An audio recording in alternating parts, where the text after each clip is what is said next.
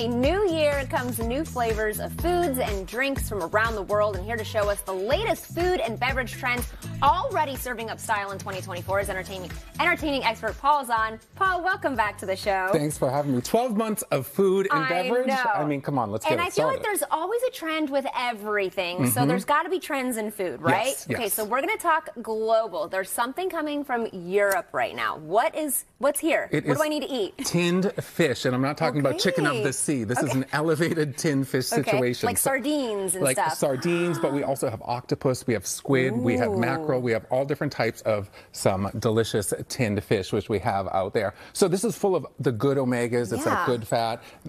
Protein packed, easy to like bring for a picnic or something like that. So Yeah. that is one that was on every list about I'm actually food a and beverage huge fan of sardines. Oh, you are? And I, yeah, I am. And I got my seven-year-old into it, which is weird because like, what kid likes sardines? But he's always asking for it, so that's why I keep buying it. And it's easy for him, too. He just pop it easy. open. Exactly, and it's got all of the good nutrients. I'm like, okay, keep going. Yes. All right, what's going on over here? Next up, we have um, some delicious beer that has had the alcohol removed. Okay. So this is So we're Sam. talking dry January. If you're if you're still doing this. Dry January Sober Curious. We have Just the Haze by Sam Adams. So some of our favorite beverages are removing the alcohol from them. So this still has, this is an IPA. It still has that hoppy, hazy, citrus forward taste to it. And it's absolutely delicious. So I am an IPA drinker, so I'll be the judge of this Fingers to see crossed. what's.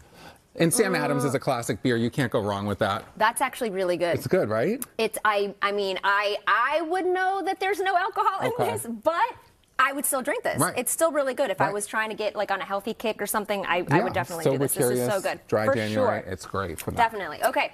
So we got some food. Yes, buckwheat is going to be something that Really? is super popular in 2024. So Okay. buckwheat is actually a seed. It's not wheat. So it's Okay. gluten free. It's high in protein, high in fiber, and it's absolutely delicious. So we have some pasta right here, and then the other part of items that is going to be super on trend this year is spicy sauces. So we know Hot Ones, that YouTube show. I feel like that sort of set this ablaze, but we Yeah. have some truff right here. So truff is made from a variety of chilies and black truffle. So it, it's absolutely delicious. We have the OG, but then we have the hotter. So you can do your own little hot ones right here. It's I was just going to ask how spicy this is because I can take some some heat. Can you take that? I can take this for sure, but there's definitely like a little kick right at the end. There's a nice kick to it. So it's- that's um, really good. Wow. So you can find out more information at truff.com. And this is actually made in Southern California, which Okay. we which we absolutely love. Is there a heat level on this, or is it just all the same? For heat? the so the the marinara sauce is just one heat, but Okay. right up front here we have The the, hot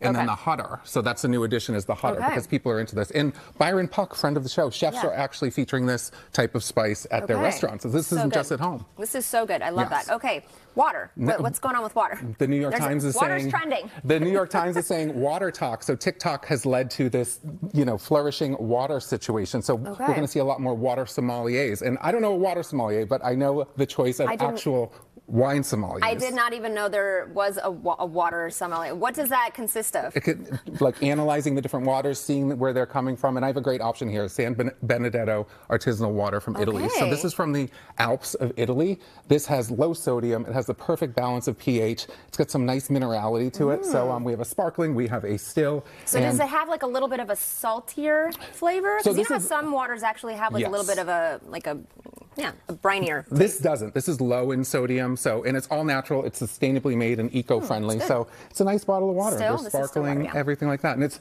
made in Italy, which we're going to say ciao to that. We love all things Italian. Ciao. You gotta Yes. you gotta hydrate for sure. Okay, these are really pretty ice cubes. What's going on over here? Mm-hmm. Along with the water, ice Yeah. is going to be a big thing, and it's creating fun and different, unique ice situations. And if you don't want to do it, outsource. Penny Pound in LA is a great source. My friend Camper English actually wrote a book all about ice. So water so beautiful. ice, that's the thing. This was my own go at it. It's not as clear as it could be, but ice is a big thing. I love that. Yes. I And- mean, I would use this just to make my water look pretty. If nice you're like, mocktail yeah, Or, yeah, exactly. Or yeah, if you're having like a nice cocktail or, or mocktail. Okay.